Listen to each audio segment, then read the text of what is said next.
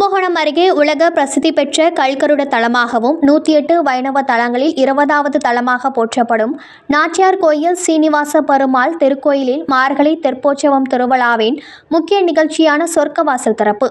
இதில் ஏராளமான பக்தர்கள் கலந்து கொண்டு தரிசனம் செய்து மகிழ்ந்தனர். கும்பகோணம் அருகே திருவிடைமருதூர் தாலுகா நாச்சியார் கோயிலில் சீனிவாச பெருமாள் திருக்கோயிலில் சீனிவாச பெருமாளும் வஞ்சுளவழி தாயாரும் தம்மந்தி சமேதராய் திருமண கோலத்தில் நின்ற நிலையில் அருள் பாலிப்பதால் இங்கு தாயாருக்கென்று தனி சன்னதி இல்லை. நூற்றி எட்டு வைணவ தலங்களில் இருபதாவது திவ்ய தேசமாகவும் சோழ நாட்டு திருப்பதிகள் நாற்பதில் பதினான்காவது திவ்ய தேசமாகவும் போற்றப்படுகிறது. இத்தலத்தில் ஆண்டுதோறும் மார்கழி தெற்போற்சவம் பத்து நாட்களுக்கு சிறப்பாக நடைபெறுவது வழக்கம். அதுபோல இவ்வாண்டு கடந்த பதினாறாம் தேதி கொடியேற்றத்துடன் தொடங்கி தினமும் பல்வேறு வாகனங்கள் சுவாமி வீதி உலா நடைபெற்றது.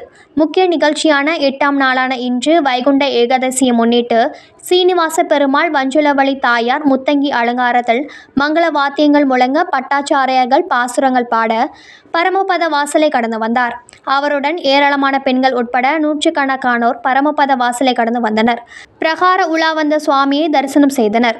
நாளை ஒன்பதாம் நாளான இருபத்தி நான்காம் தேதி ஞாயிற்றுக்கிழமை தெற்போற்சவமும் பத்தாம் நாளான இருபத்தி ஐந்தாம் தேதி சப்தாவர்ணமும் நிறைவாக பதினோராம் நாளான இருபத்தி ஆறாம் தேதி விடையாட்சியுடன் இவ்வாண்டிற்கான மார்கழி தெற்போற்சவமும் இனிதே நிறைவு பெறுகிறது.